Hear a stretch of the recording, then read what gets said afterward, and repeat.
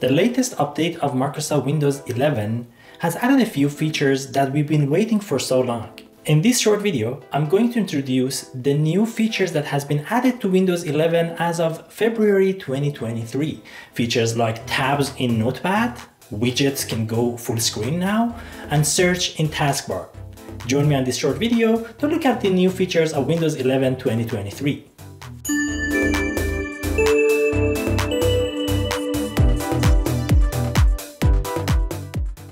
As you can notice, the very first visible change is in the search box.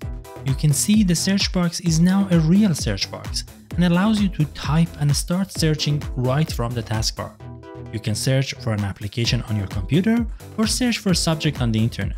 If you're searching for something on the internet and you need to read more, you can simply click the link and this will open your search results in a browser.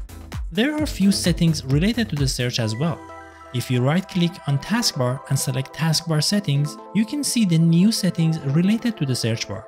As you can notice, now you have the option to change the behavior of the search box by using the dropdown.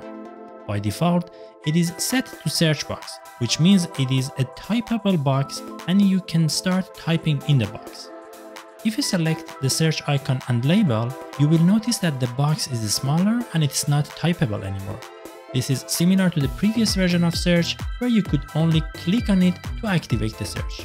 The functionalities are still the same, but you won't be able to search from the taskbar and you need to click on the search and type in the search bar after the window is open.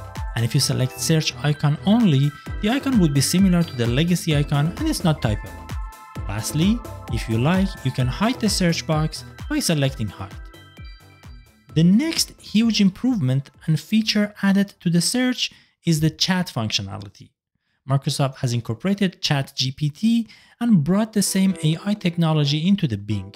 You can now ask your questions from Bing and receive the response the way you used content creators like ChatGPT. Once you have typed your search, simply click chat to open the AI powered chat environment. Here is where you can ask any questions and get answers. In this example, I asked the chat box to explain Microsoft Azure in a fun way. I have to admit, I really enjoyed its response and I laughed at the emojis that it used to make it funnier. By the way, if you'd like to learn more about Azure or hear more about Windows, don't forget to like and subscribe to the channel and hit the bell icon to be notified when the new content is released.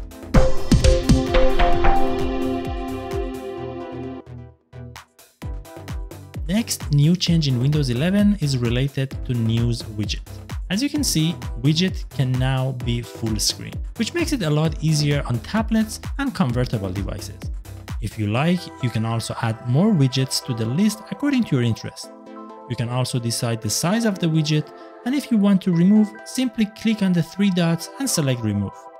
Lastly, you can change the widget settings by clicking on your profile picture and toggle on or off the settings according to your needs. Settings include opening widgets when you hover your mouse over it, which I personally find it too distracting, but it can be great if you are a fan of widgets and if you read a lot of them. The other setting is showing notification and announcements. Simply toggle them on or off as you desire.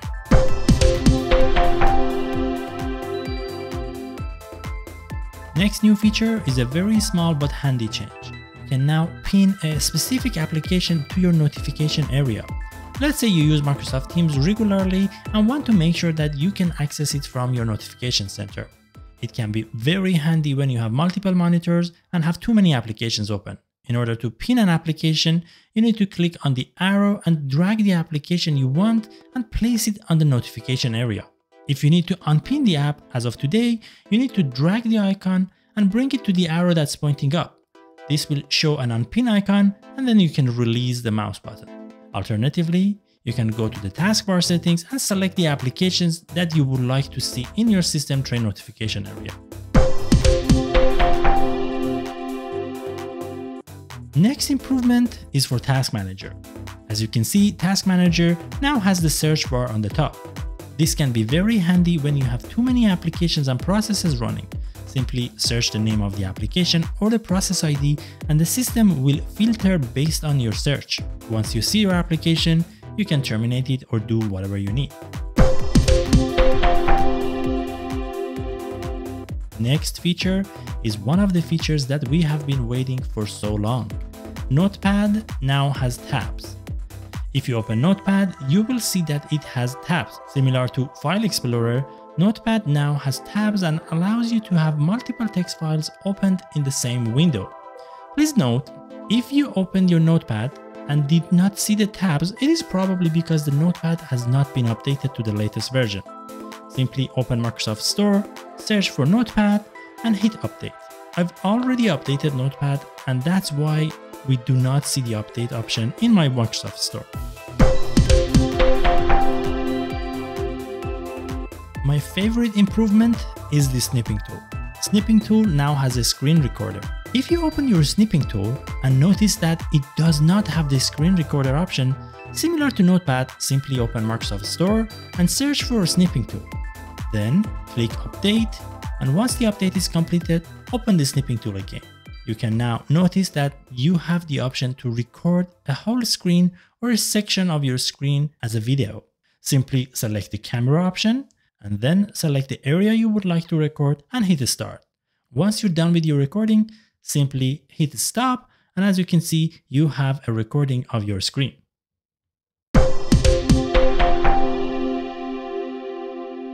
Power saving has got some improvement as well. If you go to settings and select power under system settings, you will notice that there is a new energy recommendation section. This is how Microsoft recommends a few changes on your settings to reduce the battery and power consumption. You can review them and make the changes according to your preferences.